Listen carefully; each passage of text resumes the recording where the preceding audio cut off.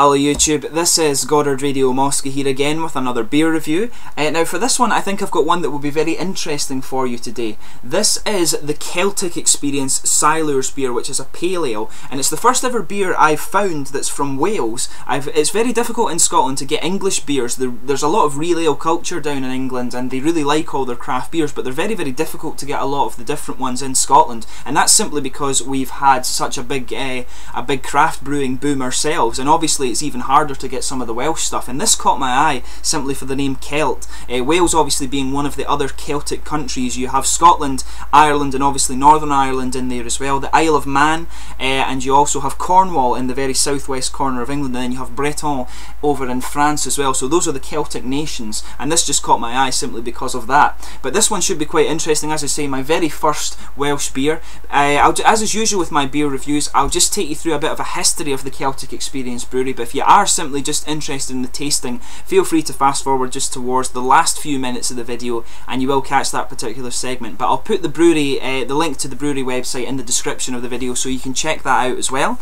But um, this brewery are from Caerphilly, which is a small town just to the north of Cardiff in the very south of Wales. A very beautiful country apparently. I need to go and, and uh, visit it myself sometime. But the brewery uh, is just over 10 years old. They were founded by Tom Newman, who apparently was an avid home brewer, but is obviously like many of the uh, the craft brewers these days has turned professional. But his brewing apparently started in his dad's garage, and at this point he was using the name Newman's Brewery. But apparently he learned a lot of his brewing techniques through trial and error, so it must have been quite a painstaking process for him. But he was able to buy up brewing equipment from uh, the Smiles Brewery in Bristol, which sadly shut down.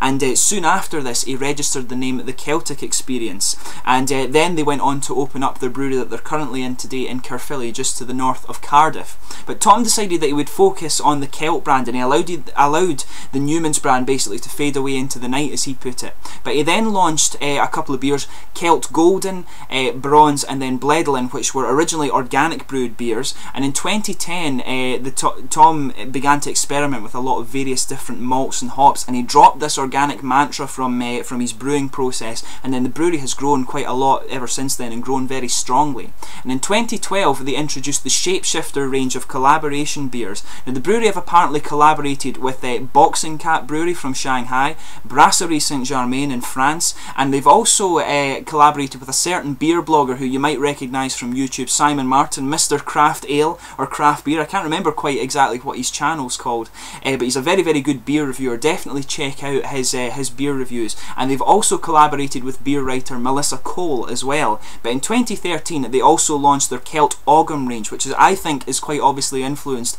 by the high ABV percent Belgian beers that you get. And these beers that they produce, there's three of them in the range, and they vary between 8.5% and 10.5% ABV. And these were instantly successful when they launched them. But the brewery are continuing to expand and improve, uh, and they're aided by the this big boom that I always talk about with craft brewing recently. Craft beer is getting very, very popular the world throughout, and uh, but they've also got the help of a guy called Gavin Davidson, who is a very a very gifted uh, financial investor, and he's helping to fund the company as well. But as in addition to this beer, the brewery produce several other ones. They have three different ranges. There's the Celt Ogham range, which I mentioned earlier, is the one is the high ABV range. There's the Willow, which is an IPA. There's the Oak, which is a Belgian triple, and there's the Ash, which is an Imperial Porter. I'll need to try these. I really like high percentage beers, and that's not just because I'm Scottish and uh, generic, genetically alcoholic.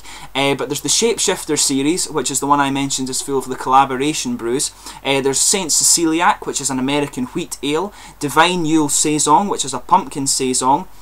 Uh, Apparition IPA, which is obviously an IPA, Scarred Belgian, which is a Belgian triple style, Papadam Cyclops, which is a spice IPA, Seven Flowers, which is an unfiltered double IPA. That one sounds quite interesting. Barbarian's uh, Beverage, which is a black chili IPA. That could potentially be quite interesting as well. There's Scrumpox, which is a highly bittered beer that they say was designed for rugby players. Wales, incidentally, has a very, very uh, good rugby team. They win the Six Nations tournament quite a lot. Uh, there is also the Danish Monster, which is an IPA. 613 Anise, which is a red bière de garde, obviously a French style of beer. The Centennial Drift, which is a rye IPA. I need to still try that particular style style of beer. And they also have the Cat Scratched Celt, which is the one that was from the Chinese collaboration brewery that they have in Shanghai. But um, they also this beer is one of the core range, which also includes the Celt Lager, the Native Storm, Dark Age, Iron Age, Bronze Age, Golden Age, Celt Bledlin, and La Tène. So I'll put the brewery website in the description so you can have a little read about all of these different beers that I've just listed for you if you are interested if you are interested in that. It's quite a nice website design they have actually, so definitely check that out. And it's obviously you can read up on these different beers and decide what you'd like for yourself. But um, anyway, let's get on with the tasting of this beer. This one is a 4.6% pale ale. Apparently it's hopped with uh, sweet malts and, trop and uh, tropical fruits. It's named after the Celtic tribe from the area that is today southern Wales and apparently the Silures tribe put up a very brave fight against the uh, the Roman invasion that happened many many years ago, obviously in uh, the southern part of Wales. I don't, I don't, I can't remember if Wales was conquered by the Romans. I know that Scotland was only conquered so far up to the sort of uh, River Forth and things like that, but I can't remember what happened to Wales exactly with uh, with the Roman conquest in Britain. But anyway, let's get this guy open and get on with the tasting. I'll let you just have a little look at the uh, the bottle art on this one. Now, as you can see, it's quite it's quite a simple design, it works really well. There's actually a bit of a product description on the back of this one, so I'll just read that out for you. Uh, this is a powerful and deep-bodied pale ale with a spectrum of fruit aromas. This robust beer is brewed using the balance of flavour malts and Pacific and Atlantic hops, resulting in a massive beer with a perfect profile of bitterness, sweet vanilla maltiness, and a blend of citrus, grapefruit, passion fruit, and mango on the finish. The beer is named after a powerful and warlike tribe of ancient Britain, occupying approximately the counties of Monmouthshire and Breconshire. The Silures made a fierce resistance to the Roman conquest about AD 48, and it remains unclear whether they were actually militarily defeated or simply agreed to come to terms with the Romans. The name Brassis Curmi malted beer traces back to the ancient Celtic language, or Proto-Celtic, an age where the Celts were of some of the first beer producers in Europe. And as it says on the back here, it's brewed in Caerphilly in, Caerphilly, in Wales. You can see just on the back there, there's a little European Union symbol just there. I'm not sure if this is... It, if this is just talking about the agriculture where they've got the hops, the uh, hops and stuff from. It's not a protected uh, trademark as was the case with the Budweiser Budvar beer that I reviewed for you. But as you can see anyway, this is quite a, it's quite a plain design on the bottle, but it works really nicely and it's got an unusual top on it. It has a kind of waxy sort of top on it there. Uh, there's the bottle cap for those of you who are interested in that. I like to keep my bottle caps of course, but let's get this guy open and uh, get on with the tasting here. I just need to watch with this one because it looks like it might be a bit weird to open. There we are. Let's just try and snap this off. This is going crazy. Oh dear. That's the second beer to explode in my face. So there we are. Let's just get this guy open and get him poured. As you might remember, my last beer that exploded in my face was my Ethiopian beer, but obviously this one hasn't travelled very well either. So let's just get this guy out and uh, we'll get on, continue with the review without any more explosions hopefully. As you can see there's quite a bit of head going to come on this one. It's a really nice attractive looking beer. The little taste I got there just when I was taking the top off the bottle was quite bitter I have to say, which is what I would expect from this beer having read about it. But anyway, as you can see there's a massive head on there. I'm not sure if that's simply just because of the, the little explosion that we had. Uh, but as you can see it's a very very nice beautiful sort of hazy golden colour there. There's some carbonation visible throughout it. Nice big sort of three finger head there. Really really frothy. There are some bigger bubbles in there as well. In terms of the aroma really getting a lot of citrus out of this one sweet citrusy hops on the nose, but you can pick up the tropical fruits in there as well. I am picking up the grapefruit. They said that there was passion fruit in there as well. And mango, I would definitely, I, I can't pick out the, the individual fruits, but I would definitely believe them that that's in there. Very sort of tropically fruit smell to this one as well. Just see if I can get the rest of this into the bot into the tankard. There we are, that's it all out now. But yeah, really, really citrusy on the citrusy hops on the nose the tropical fruits are in there as well. I am getting the sort of piney elements to it as well, but a very, very hoppy beer on the nose. Smells, it smells really, really nice. Really, really beautiful smelling beer. So let's get on with the tasting of this one. Try and just get rid of some of the head on this first.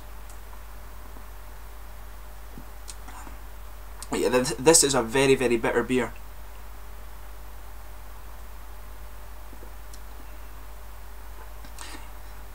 Yeah, as I say, it's very very bitter.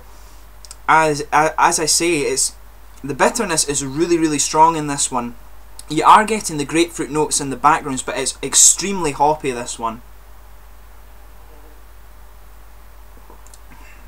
You're picking up the grapefruits and the mangoes in the background, but the first thing that is coming to you is that hot bitterness, and that's present throughout it. The fruity notes are just kind of in the background, really.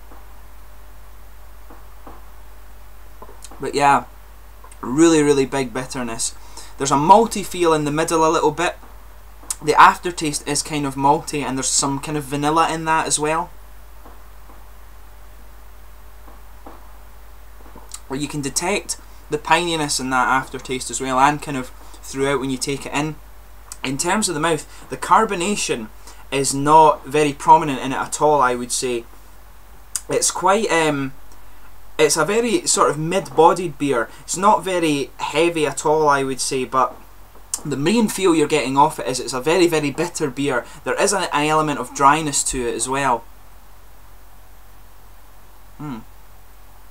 But yeah, it tastes really nice for this one, I would say you really have to be into your um, into your bitter beers to really, really get what this one's going for.